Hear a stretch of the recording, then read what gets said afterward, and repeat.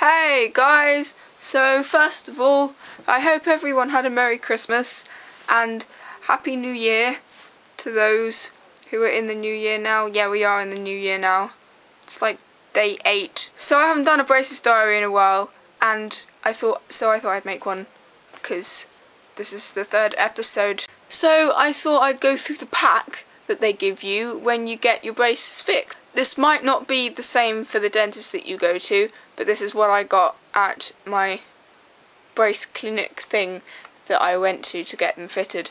So they give you a toothbrush, um, and it's not just any old toothbrush because it has a little dent in it that means it can fit around the uh, brackets and there's a little pick one so if you got like food between your teeth you can just like brush it out with a mini brush. You also get a travel toothbrush which looks like that but magic happens and you can one-handed skills put it together like that. They also give you mouthwash. You, obviously you can buy mouthwash in other shops and this isn't the actual bottle that they gave me.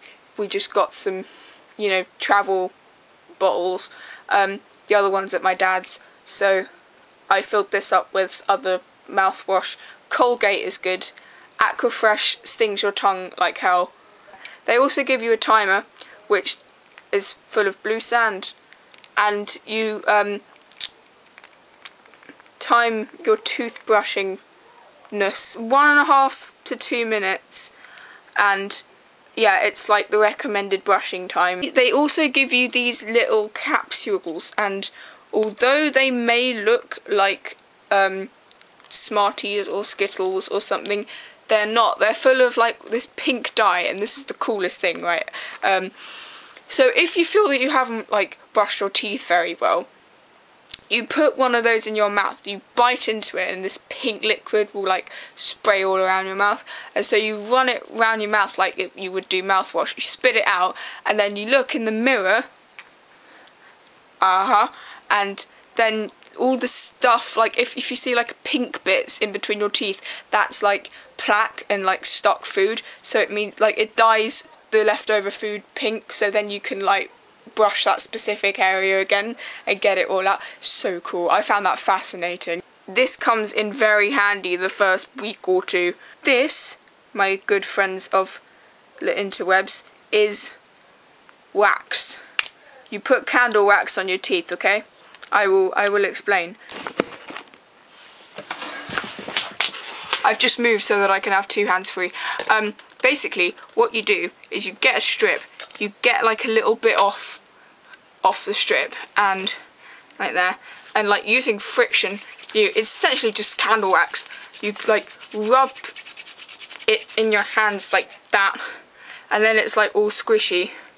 And then you can put it like if a bit of the wire is like sticking out of your brace or something because like when they start straightening out they like there's a bit at the back that like always comes off like you know comes out of the bracket and it starts rubbing against your mouth and it really hurts. So what you do is you put it put it around the bit of um, wire that is sticking out the back of your tooth. It does taste funny. But the most stressful thing is like when you're really tired and you've stayed up late on the internet so much but it comes to bedtime and you have to brush your teeth. So you go and brush your teeth and then all the wax comes out so you have to spend ages putting all the wax back on again which is why I only have like two strips left after two weeks. In your pack you also get given what is called the no-no list. So I'm going to go through all the things you are not allowed to eat during your braces time. You just have to deal with it. Number one on the no-no list is chewing gum. I have my braces in for up to two years maximum and I am a chewing gum holic, a holic. Chewaholic. I am a chewaholic as well as a chocoholic. So when I found out I couldn't have chewing gum for two years, my face melted. It did, okay? You're not allowed to eat pens and pencils. Oh no, no, no, no. We'll be having none of that. Number three, toffees. A thousand times no. It will totally destroy your braces. Boiled sweets. Because we live in the 1960s. Nuts. Not those kind of nuts. I don't know what you were thinking. No, seriously. Nuts will destroy your braces. Like, no almonds or peanuts or hazelnuts mus. Mus, that's, that's, that's hazelnut butter. That's, the butter's pretty okay, I guess, if it's smooth. But German fingernails, because we go around ripping people's fingernails and eating them, don't we? Biting your fingernails will definitely break your braces. Fizzy drinks. Now, I will defy this rule because I've been drinking Coca-Cola because it's fine. The only reason they tell you not to drink fizzy drinks is because it will stain your teeth. You take them off, it will just leave like a brace-like shape on your teeth for free um, teeth whitening if you want, so it's fine. You just get white teeth. Apples. You're not allowed to eat apples because you can bite into them and break the braces, okay? If you chop the apple up, however, that is acceptable. Pizza crusts. Not that anyone eats pizza crusts anyway, but you can't eat pizza crusts because it's bread moving swiftly on. You can't eat hard rolls or crusty bread at all because it bends the wire and knocks off the brace brackets brackets, I said brackets. Eating these or other hard sticky foods will loosen your brace, but you may not